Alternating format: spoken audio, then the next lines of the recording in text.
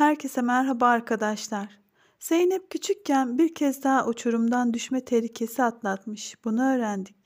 Zeynep bir çocuğun geldiğini ve kendisini kurtardığını söyledi. Anlaşılan Halil çocukluktan bu yana Zeynep'in kahramanıymış da Zeynep'in bundan haberi yokmuş. Halil o küçük çocuk bendim diyemedi ama her şeyin kader olduğunu söyledi.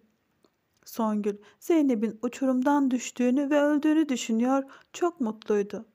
Songül Zeynep'i karşısında görünce öfkeden çılgına dönecek.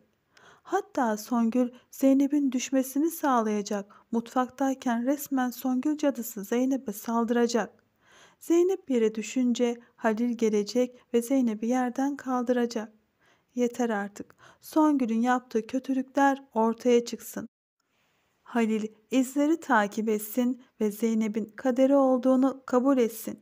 Halil daha fazla Zeynep'in canının yanmasına da izin vermesin. Benim gibi düşünenler videoyu beğeni butonuna basarak beni yalnız bırakmasın lütfen. Halil Zeynep'in küçükken verdiği kurdeleye bakacak.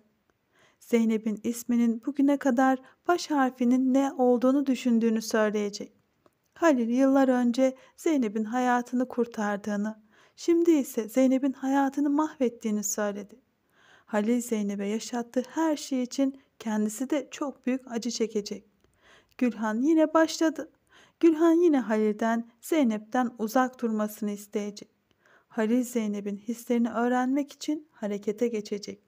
Halil Zeynep için bir kurtarıcı mı yoksa hayatını mahveden biri miyim diye soracak. Zeynep ne diyeceğini, nasıl davranacağını bilmeyecek.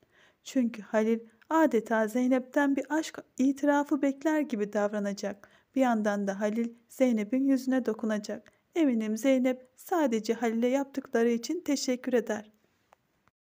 Zaten Zeynep duygularından bahsetmek istese de bu konuşma birileri tarafından kesilir.